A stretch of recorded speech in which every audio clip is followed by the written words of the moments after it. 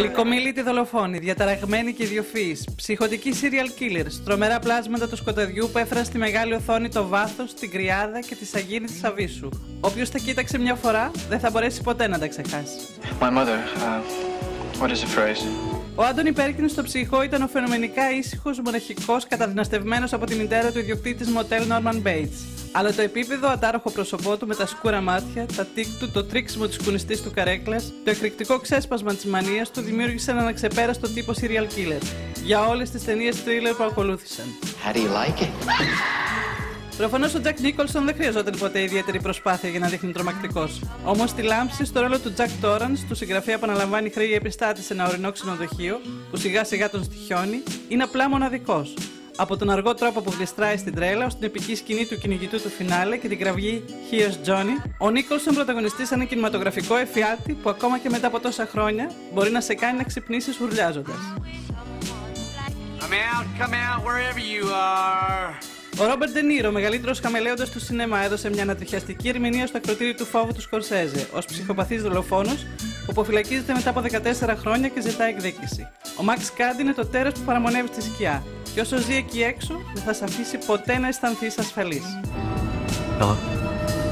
Ο Christian Bale, εντυπωσιακός ως Patrick Bateman στο American Psycho, έδειχνε ανίκανος να αισθανθεί φόβο, πόνο, μίσος ή έλεος, σαν μια αληθινή φωνική μηχανή. Κατάφερε να στείλει ανατριχίλη στη ραχοκοκαλιά μας. Good evening, ladies and gentlemen. Όταν ο Chris Nolan ανακοίνωσε ότι ο κακός στη δεύτερη ταινία Batman, ο σκοτεινός υπόθεση, η επιστροφή θα ήταν ο Joker, οι κριτικοί έσπευσαν να προδικάσουν το αποτέλεσμα λέγοντας ότι κανένας ηθοποιός δεν θα κατάφερε να ξεπεράσει το χαρακτήρα που δημιούργησε ο Jack Nicholson στην ταινία του Barton.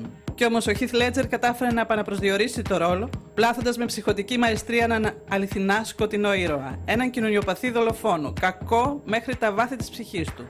Ο Τζόκερ του Ledger, το υπέροχο κύκνιο άσμα του ηθοποιού, καθώς έφυγε από τη ζωή λίγο μετά από την ολοκλήρωση των γυρισμάτων, είναι μια μοναδική στιγμή του σινεμά.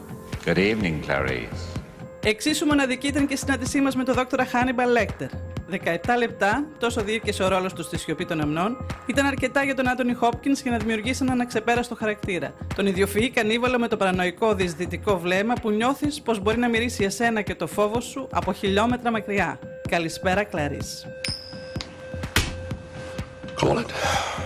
Κάποιοι λένε πως ίσως οι πραγματικά επικίνδυνοι άνθρωποι είναι αυτοί που είναι πεπισμένοι πως οι πράξεις τους έχουν τη ρίζα τους σε μια ανώτερη δύναμη, πως είναι πράκτορες της μοίρας. Όπως ο Άντων, ο ψυχοπαθής δολοφόνος του Καμιά Πατρίδα για τους Μελοθάνατους, ο άνθρωπος που σκοτώνει χωρίς όρια διακρίσεις ή τύψεις και δεν σταματά ποτέ πουθενά, δεν είναι ένας τύπος που θα ήθελες να συναντήσεις σε ένα σκοτεινό σοκάκι ή οπουδήποτε αλλού. Αλλά το ταλέντο του Χαβιέ Μπαρδέμ σε αυτό το ρόλο λάμπει παντού. Hi, hi, hi there, my little droogies. Ο Άλεξ Ντελάρτζ, ο νεαρός που ξυλοκοπούσε και βίαζε τραγουδώντας Τι υπέροχο συναίσθημα είμαι πάλι ευτυχισμένος στο κουρδιστό πορτοκάλι του Κιούμπρικ, μπαίνει επάξια στη λίστα με τους αξέχαστους ψυχοπαθείς της μεγάλης οθόνης. Το ίδιο και η ηλεκτρική ερμηνεία του Μάλκολμ Μακντάουελ.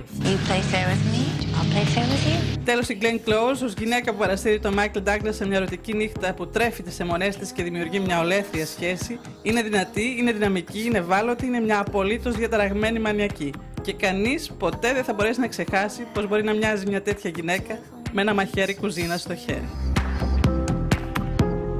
But we laugh. Πάντως ο ρόλο... Α.